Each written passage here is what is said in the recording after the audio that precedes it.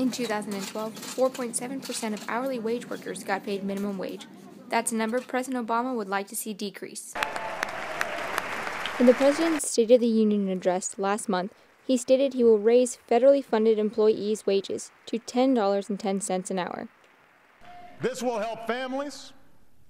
It'll give businesses customers with more money to spend. It does not involve any new bureaucratic program. So join the rest of the country. Say yes. Give America a raise.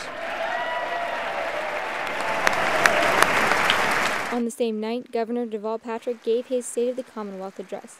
He also urged a hike in the state minimum wage. To those who are reluctant to raise the minimum wage, I ask only that before you resolve to oppose it, consider whether you can live on it. Although Massachusetts is 75 cents higher than federal minimum wage, workers still struggle to meet their costs. The fight is all the more difficult if you live in a city. If you live in Boston, you already know the city is expensive, but just how expensive? A 2013 Yahoo Finance study found that Boston ranks in the top 10 most expensive cities to live in the U.S.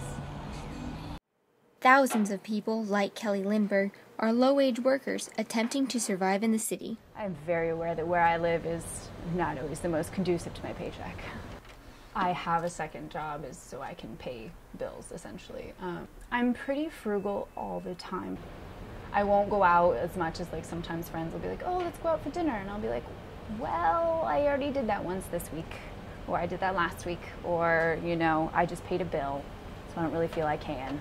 There are very few places within the United States where a person living at a, like having a job that's minimum wage, they can actually survive on that job. They have to like work 85 hours a week to essentially make them out.